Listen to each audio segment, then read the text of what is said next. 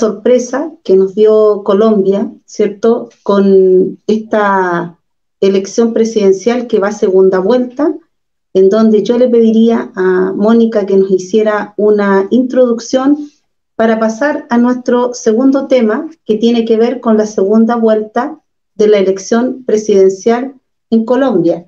Eh, yo quisiera recordar que en esta segunda vuelta está Gustavo Petro, ¿ya? Y eh, que obtuvo un 40.34% de los votos en la primera vuelta, y Rodolfo Hernández, que obtuvo un 28.17%, eh, Gustavo Petro de la coalición Pacto Histórico y eh, Rodolfo Hernández de la Liga de Gobernantes Anticorrupción. yo quisiera que para que las chilenas y los chilenos que están escuchando, para nuestros compañeros y compañeras migrantes que están acá, venezolanos, colombianos, peruanos, bolivianos. Eh, quisiéramos escuchar eh, de Mónica cuál es la situación. Nos gustaría saber el panorama político de Colombia. Eh, nos gustaría saber cómo se dio esta primera vuelta y qué ve ella en este momento en que están, ¿cierto?, en este proceso de segunda vuelta presidencial en Colombia. Mónica. Bueno, compañera, nos encontramos en un momento en que nosotros catalogamos como de momento histórico. Sí, un momento histórico que está marcado por varios acontecimientos. Uno es el, acuerdo de paz firmado con la FAREP en La Habana, que de alguna manera genera una situación de apertura eh, eh, democrática en Colombia importante que empieza a reflejarse en, esta gran movilidad social, eh, que primero en el tema electoral tiene un impacto importante eh, hace cuatro años frente a la candidatura de, Iván Duque, estaba la de, la de Gustavo Petro, que en segunda vuelta obtuvo 8 millones de votos, en la segunda vuelta.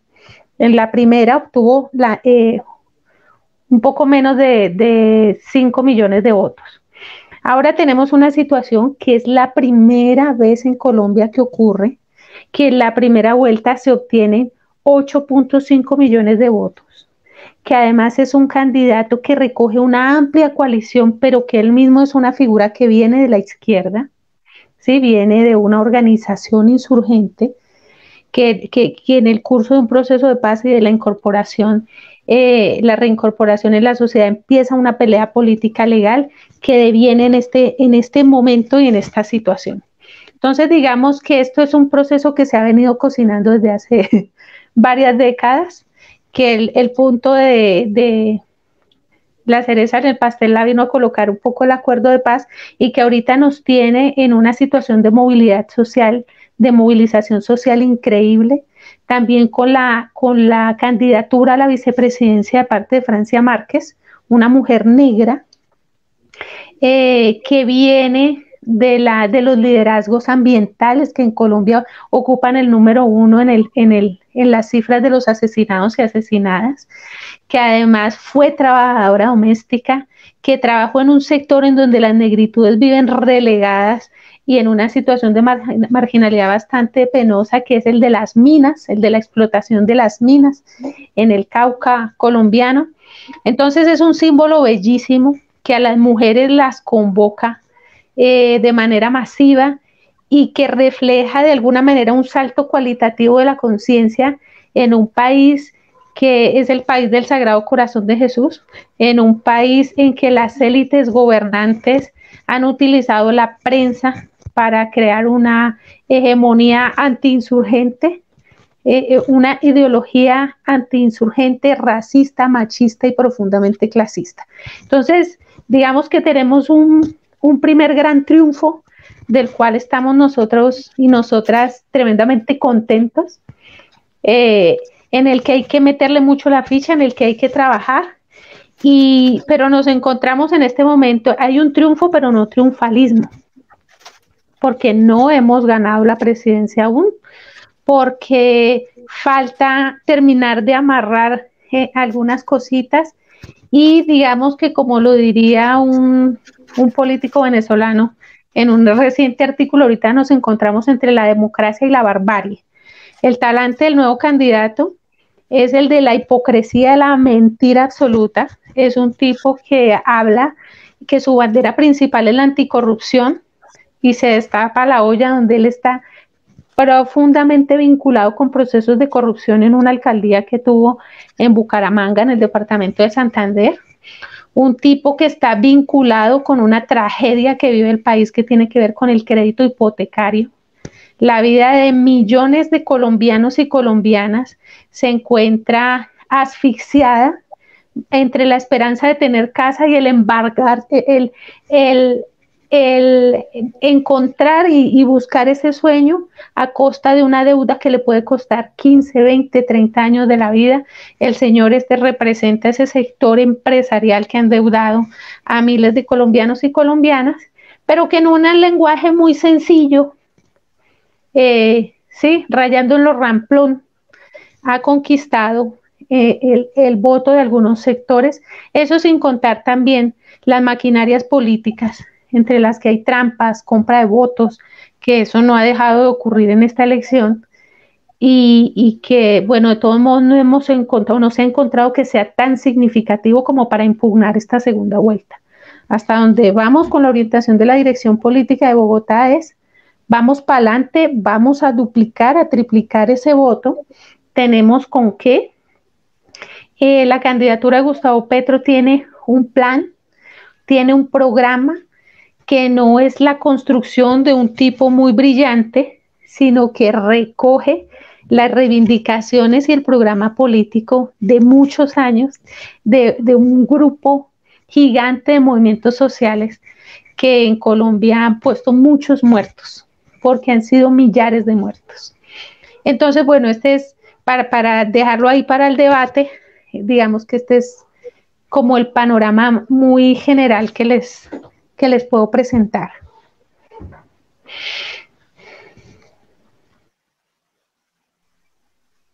Gracias, eh, Mónica.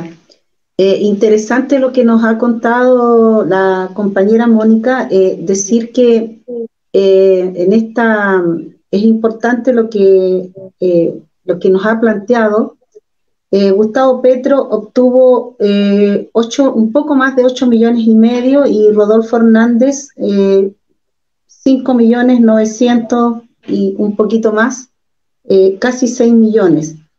la pregunta que le quisiera hacer a Igor, porque ya se sabe, ¿cierto?, que los otros candidatos ya han presentado apoyo, en específico a Rodolfo Hernández. La pregunta que, me gustaría hacerle Igor, ¿qué, cree usted eh, de lo que pasaría en este panorama en donde tenemos a un candidato de izquierda eh, apoyado por, por eh, mucha, es una coalición bastante grande el pacto histórico, ¿Qué piensa usted que, podría pasar? Porque tenemos, eh, yo acá veo a una derecha, 23.94, eh, obtuvo 5, eh, millones de votos.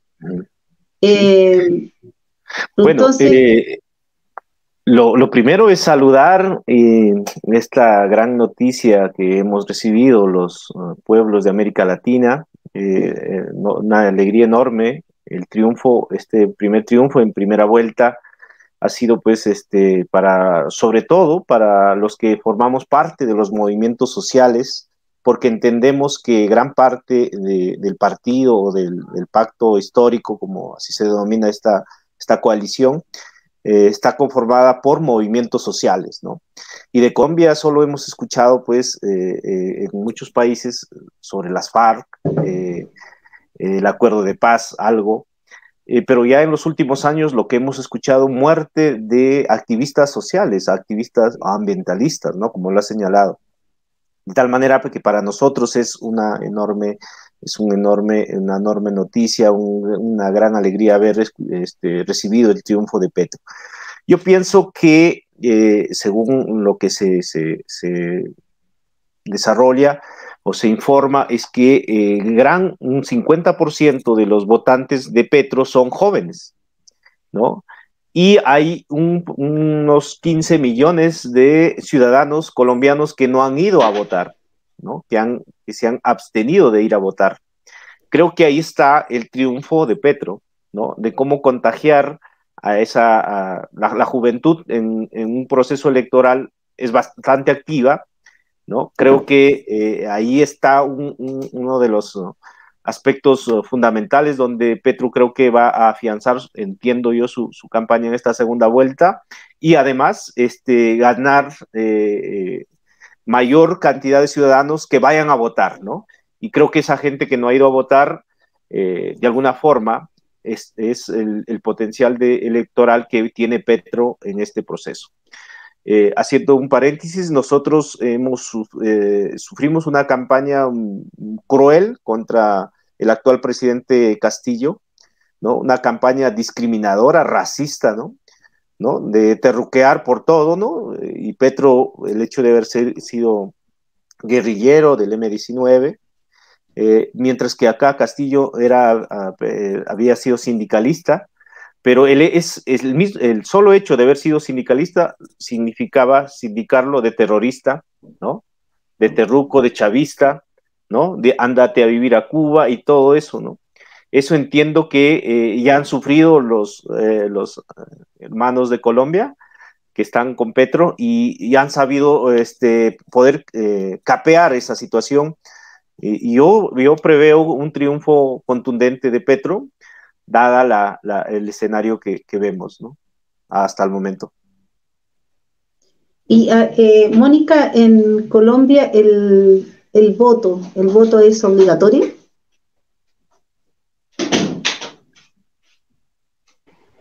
No, no es obligatorio. Hay estímulos para los votantes. Sí, le bajan el, el, costo del pasaporte, algunas gestiones, la matrícula universitaria, pero no es obligatorio. ¿Y, qué opinas tú del panorama en este momento? ¿Qué opinas tú de, la, eh, posibilidad cierta de que Gustavo Petro pueda ser el presidente de Colombia? Digamos que nos encontramos en un momento eh, en que la cosa está reñida, en que eh, aquellos sectores que apoyan y que se sienten recogidos en Gustavo Petro, pero que no fueron a votar porque solo fue el 54% del padrón electoral el que votó, puedan ahorita sentirse en efecto estimulados. Igual el voto de la mujer, eh, eh, la presencia de Francia Márquez y, las eh, aseveraciones en extremo machistas de este señor, ¿sí? Que bien puede decirse que es bien cavernícola Eh, pues pueden estimular el voto femenino. Sí, es que eh, eh, hace una serie de aseveraciones que uno dice, bueno, el pez muere por su boca. Sí, la señora, las mujeres tienen que estar en la cocina. él dice que lo que va a hacer al siguiente día de ganar es declarar estado de conmoción interior, que va a cerrar las embajadas, se ha negado a asistir a los debates políticos porque él no tiene nada que debatir, eso sí lo obliga la ley, pero es que el señor no tiene programa. Y sus mismos asesores han dicho que van a tomar eh, pedazos aparte del programa de Gustavo Petro porque les parece interesante. Entonces, el señor va a recoger los amplios sectores que tiene duros del voto duro de la derecha colombiana y de, y de, de, la opinión de algunas de nuestras clases populares que les que siguen, ¿sí? Lamentablemente esas derechas, pero después del contexto del estallido eh, social del año eh, antepasado y pasado, pues nosotros sabemos que, que la situación terrible de las mayorías en Colombia, pues ha permitido generar un pensamiento crítico que distancie esas, esas, esas voces de esos votos de opinión de nuestras pobrecías, pues de nuestras mayorías nacionales, que se encuentran muy pauperizadas. Entonces, bueno, esperamos, creemos que es posible, creemos que se puede, que no está fácil. Tenemos el ejemplo de Chile. Las mujeres ahorita estamos leyendo línea por línea lo que pasó en Chile para poder agarrar de allí pues eh, eh, toda esa experiencia valiosa, sobre todo en la organización de las mujeres, porque porque tenemos organizaciones grandes, importantes en todos los sectores de mujeres, en los campes, campesino estudiantil, en eh, las negritudes, que, bien organizaditos podemos dar el viraje. Sí, ¿ah? Sí, Yo, yo eh, agregaría ahí eh, que esta elección también ha significado, eh, en cierta medida, terminar con los partidos tradicionales de Colombia, ¿verdad? El uribismo, que ha sido, pues, bueno, nosotros escuchábamos que Álvaro Uribe era en sí el presidente de hace 20 años, ¿no? En la sombra o, en, vivo, ¿no? Era, entonces, de alguna forma, creo que esto también ha significado un, un, quiebre, dado que eh, creo que en los países, en el caso del Perú, hemos vivido eh, nefastamente eh, las políticas neoliberales, ¿no? las privatizaciones, el recorte de derechos este, laborales, la persecución a líderes ambientalistas, etcétera, etcétera. ¿no? Eso creo que ha sabido captar Petro también y bueno, esa es nuestra, nuestra bandera al fin y al cabo también, ¿no? Y, yo pienso que también una gran noticia es el haber acabado con estos partidos que implementaron estas políticas que han sido nefastas, sobre todo para los sectores sociales más desfavorecidos. Bueno, eh, para quienes nos, eh, nos están escuchando, estamos en Fomeo Internacional con Igor de Perú y Mónica de Colombia. Estamos hablando de las elecciones presidenciales en Colombia, de la segunda vuelta, en donde está liderando Gustavo Petro del pacto histórico, eh, un pacto de izquierda. Eh, y eh, quería preguntarle a, Mónica con respecto a, porque nosotros los chilenos decimos, esta es una, cuando supimos, ¿cierto?, de que eh, había tenido este porcentaje tan alto Gustavo Petro, eh, consideramos que es un asunto de tipo histórico. Eh, también se ha hablado mucho de la posibilidad del cambio, de, que se vaya dando el cambio, la posibilidad, por ejemplo, que, que, Lula pueda ganar en Brasil, el mismo hecho de que Boric haya ganado acá en Chile, que, o sea, tener en el gobierno el Partido Comunista la verdad de las cosas que también fue un, asunto importante después de un gobierno de derecha. Entonces, eh, me gustaría saber, y creo que eh, a todos los que están escuchando acá en Chile, les gustaría saber del proceso que se ha vivido para que ustedes en este momento, en segunda vuelta, tengan un candidato con un porcentaje tan alto de votos, igual entendiendo que eh, 8 millones y medio, 40%, eh, la verdad de las cosas que nos sorprende, nos sorprende acá en Chile lo que está sucediendo en Colombia. Entonces nos gustaría que nos pudieran contar eh, un poco más de esto que tú hablabas del estallido y de, de cómo se han ido dando las cosas que finalmente han llegado con esto, con este momento en que estamos en segunda vuelta con este candidato. Bueno, compañera, primero decir, bueno, en este momento no es una coalición de izquierda solamente. Es una amplia coalición que recoge sectores de centro, centro derecha. Digamos que los sectores del liberalismo progresista se encuentran allí. Y hay un fenómeno que se da en Colombia a partir del acuerdo de paz y es que se dio, de alguna manera, dividió al país, al país político en el, entre los defensores y los que querían que se implementara el acuerdo de paz y los que no, se no querían que se implementara el acuerdo de paz. Entonces, eh, eh, por eso nosotros decimos, el acuerdo de paz genera un momento de inflexión porque el acuerdo plantea, la solución, plantea soluciones a las causas que originaron el conflicto social y armado en Colombia, que fundamentalmente son el problema de la tierra y de la participación política plantea un tipo de reforma integral, plantea una serie de transformaciones políticas para ampliar la participación eh, de las mayorías populares e incluso de las, de, las, eh, de las víctimas del conflicto armado, sobre las cuales hay un especial énfasis en el acuerdo. Y además, eh, uno de los puntos del acuerdo es el sistema de justicia, verdad y reparación, para las víctimas que crea una jurisdicción especial para la paz, en la que se develan eh, unas verdades que han sido muy significativas para el país y que muestran de alguna manera, son verdades que todos conocíamos, pero que ahorita eh, lo hace un, tribunal, un, poder del Estado que surge en el marco del acuerdo de paz, que es la JEP, que le dice al país, pues tenemos en las declaraciones de varios militares que más de eh, 6.400 eh, jóvenes han sido asesinados por militares y hechos pasar eh, por, por, guerrilleros muertos en combate. Se, se, hablo de jóvenes, jóvenes que son hechos, son vestidos de guerrilleros y se muestran como dados de baja en combate.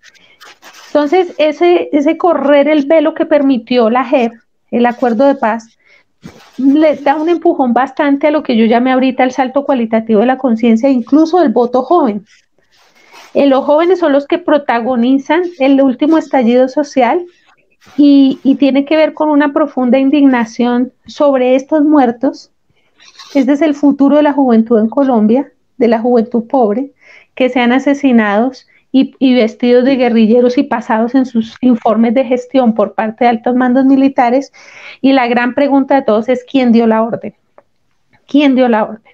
Entonces, en ese contexto de lo que va revelando el acuerdo de paz, de lo que le va proponiendo el acuerdo de paz al país, que no es que se indemnice a unos guerrilleros y guerrilleras, sino que se generen soluciones para aquellas cosas que le dieron, eh, que fueron la causa del conflicto armado, empieza a, generarse un montón de procesos alrededor y, de, eh, y de, liderazgos políticos para exigir la implementación de ese acuerdo de paz. Además, el país está cansado. Son más de 8.500.000 víctimas y Uribe, Álvaro Uribe Vélez, no representa un partido, representa una clase social y un sector de la élite que se ha beneficiado directamente de la guerra, que es un terrateniente, que tiene muchas hectáreas de parte del campo colombiano, que esas hectáreas están relacionadas con el tema de la usurpación de la tierra, como aquellos sectores. Nosotros lo sabemos muy bien en Perú. Es, el, la, misma, el mismo carácter ideológico de esa oligarquía colonial. ¿Sí? Eh, que tiene un discurso, pero que en la realidad ha convertido la política en, el instrumento para, eh, cumplir y satisfacer los intereses de una pequeña minoría. Entonces, esto que se va cocinando con Gustavo Petro, que viene de otro proceso de paz, que viene del proceso constituyente de, eh, de 1991, que viene de la alcaldía de Bogotá, donde la gente tuvo la oportunidad de ver que en esa alcaldía se generaron una serie de programas sociales. Yo crecí en Bogotá y a mí nunca me preguntaron en la escuela si yo desayuné.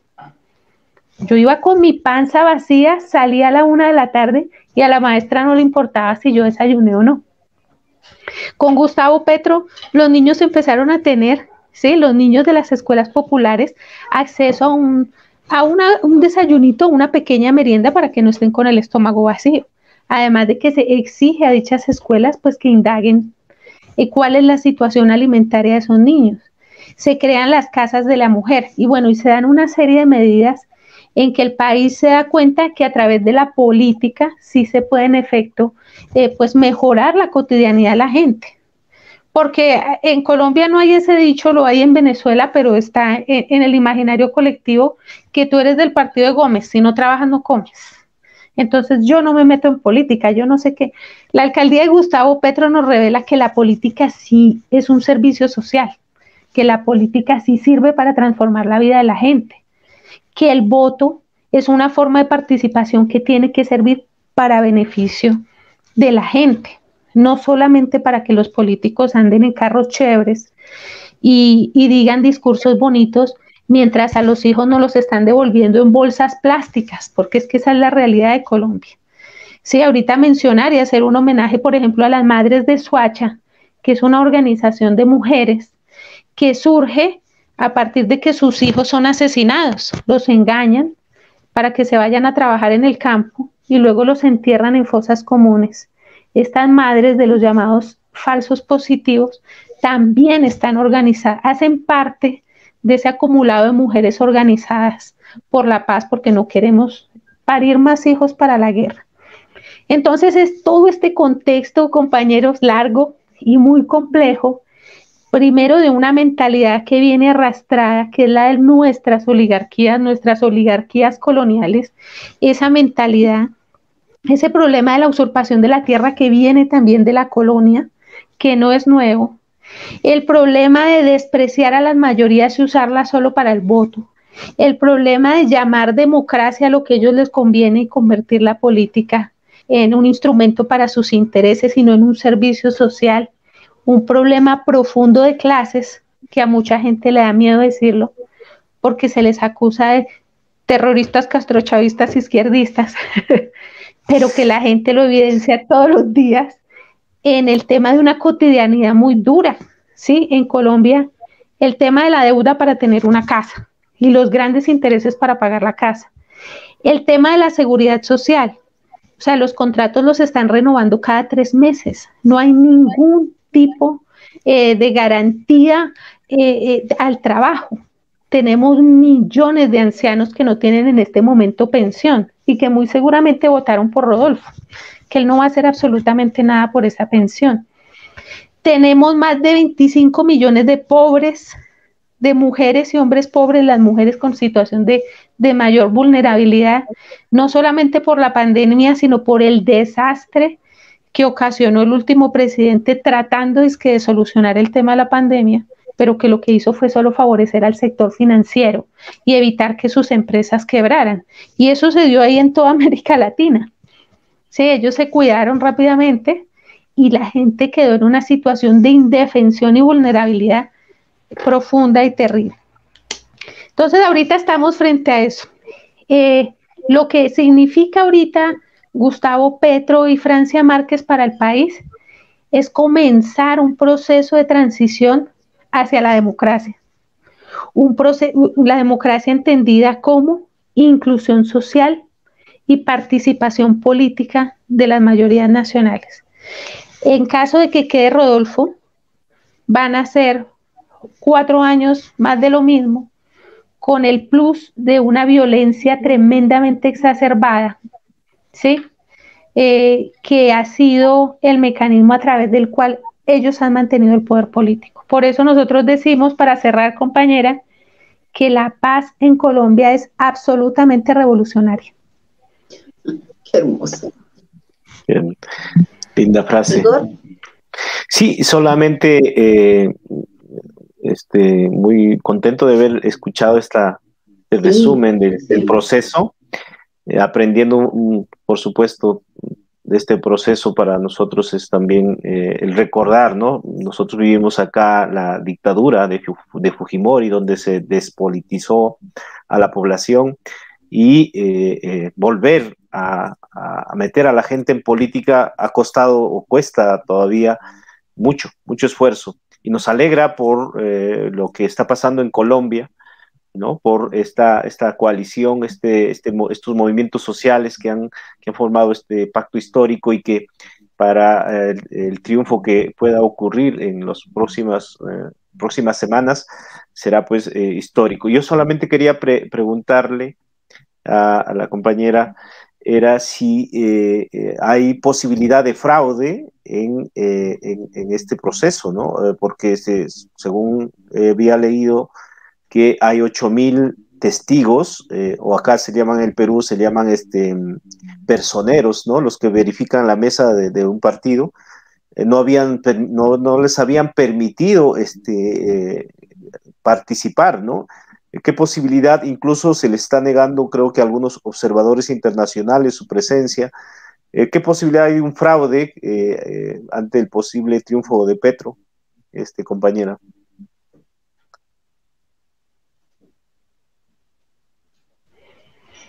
Pues eh, hay muchas formas de fraude que yo las mencionaba que hacen parte como de la maquinaria política colombiana.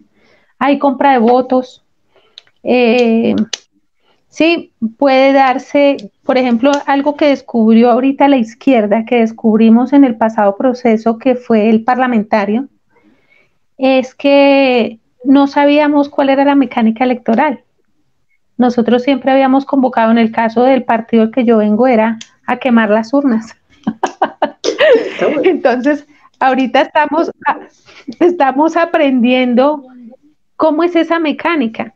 Y lo que hemos descubierto es un sistema profundamente obsoleto, lleno de planillas, de formularios, pero un aprendizaje importante es que eh, ahorita también se dio por primera vez en la historia de Colombia un proceso de reclamación de reconteo de votos que no, que no fue sencillo, o sea, no consiste en que vamos a recontar los votos, sino que tiene que ser eh, con base en, la observación directa de los testigos, en la revisión como de las estadísticas, y para ello hay que acudir a unos profesionales eh, de, la, de la programación para empezar a buscar en aquellos lugares donde hay sospechas o hay denuncia, donde hay anomalías. Así fue que se recuperaron varias curules del pacto histórico en el pasado proceso parlamentario. No fue fácil, pero le estamos apostando a este sistema electoral. Estamos apostando a que si ganamos, pues hay que transformarlo, hay que modernizarlo y, y que haya, eh, además de, la, de los veedores internacionales, pues una fuerte vigilancia de nuestra ciudadanía y de nuestros partidos y de nuestra coalición al voto a través de los testigos. Entonces, digamos que hemos aprendido los mecanismos para vigilar, hemos aprendido los mecanismos para, para, para reclamar, para buscar eh, dónde hay anomalías y para generar las denuncias. Antes no sabíamos, la verdad, lo, hablo, lo digo como izquierda, no como parte de la coalición, porque allí hay zorros viejos que nos ayudaron a olfatear, ¿sí? Pero como izquierda, nosotros estamos completamente ignaros en ese tema. Estamos aprendiendo y en un contexto bellísimo lo estamos haciendo. Sí, ¿eh? sí e, es, eh, te escucho, Mónica, y me acuerdo de de, toda la, de todo lo que se hizo para que, para que pudiera ganar Boric, porque si ustedes supieran cuando en primera vuelta ganó el, candidato de derecha, eh, fue terrible, terrible para todos los que habíamos trabajado yendo a las casas casas, a, eh, buscando cierto el voto para Boric, eh, ver que hubiese ganado Kass fue horrible, pero después a propósito de lo, que podría pasar en Colombia, después ver que aquí en Chile eh, se da una votación histórica del candidato, eh, hace pensar que esto podría pasar en Colombia también, porque eh, en primera vuelta hubo mucha, mucha gente que no fue a votar, pero resulta de que nos damos cuenta que se dio vuelta y que se hizo una votación que hace mucho tiempo que no sucedía en este país. Entonces, eh, pensar en la posibilidad de que, de que esto sí pueda suceder exactamente en Colombia como pasó acá en Chile, eh, yo creo que sí, por lo que tú nos cuentas, Mónica. Y además, eh, creo que en este programa que ya se está terminando, la relación que hay entre la cumbre de las Américas y la relación que hay entre eh, el que en Latinoamérica se estén dando cambios, porque llevamos muchos años, muchos años insertos en esta, en esta política en donde somos el patio pobre eh, de Estados Unidos, eh, somos todavía, después de tantos años, países que somos considerados como dentro del colonialismo, eh, se da mucho lo que es la violencia, la violencia en las mujeres, la, la violencia en la clase trabajadora, eh, se da mucho la impunidad. Porque si yo escucho a Mónica, estoy escuchando también lo que ha pasado en Chile. Porque son muchas personas, muchos, son miles de personas que murieron, miles de personas que fueron torturadas, apresadas. Eh, entonces, eh, somos, somos hermanos, es, una, una unidad latinoamericana que se da con el dolor, pero que también se da con la alegría. Entonces, esta relación que uno ve entre esta cumbre, eh, que es nuevamente la búsqueda del poder de Estados Unidos sobre eh, los países, específicamente latinoamericanos, que son países que tienen problemas, que tienen problemas de su deuda, que tienen problemas económicos, que tienen pobreza, que tienen muchos recursos, pero que lamentablemente los recursos eh, no son explotados por, eh, los países, no son nacionalizados. Y eso significa que seguimos estando en condiciones vulnerables.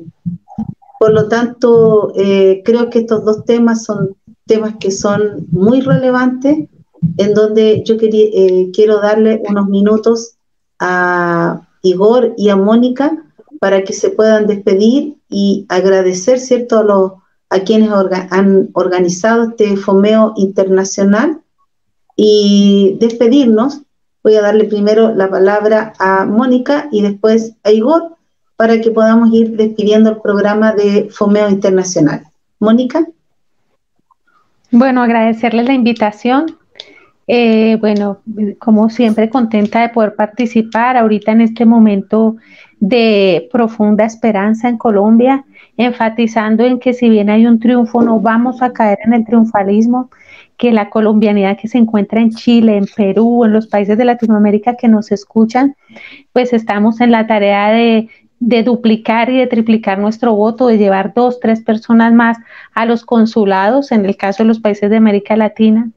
Estamos en el momento de los pueblos. Eh, este ha sido un proceso de, varios, de varias centenas de años en las que las mayorías hemos ido ganando terreno y finalmente vamos a vencer, vamos a vencer porque la verdad, la verdad está de nuestro lado. Nosotros somos el sustrato de la verdadera democracia, las mayorías latinoamericanas. Entonces, unidad con Bolívar, unidad con Martí, unidad con Artigas, unidad con nuestros héroes y heroínas latinoamericanos.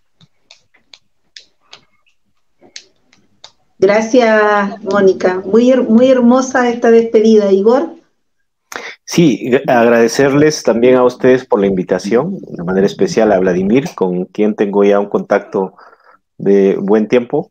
Eh, realmente el, el triunfo, el posible triunfo de Petro significaría también para Estados Unidos un serio revés, dado que Colombia ha sido pues un, país muy eh, cercano aliado prácticamente para uh, injerenciar en nuestros países, ¿no? De tal manera que el triunfo de Petro no solo es el triunfo de la izquierda colombiana, será el triunfo de la izquierda, del progresismo y de los movimientos sociales en América Latina. Estamos seguros que eh, la América grande, que soñó Bolívar, seguirá eh, viento en popa. Muchos, muchas gracias y abrazos a todos. Hasta pronto. Eh, gracias a Igor, gracias a Mónica. Y bueno, la Cumbre de las Américas no tiene dueño, no a la exclusión. Cuba, Nicaragua y Venezuela deberían participar y por supuesto que, que gane Gustavo Petro en Colombia. Nos despedimos, muchas gracias, buenas noches a todas y todos. Hasta, hasta pronto, gracias. Hasta pronto.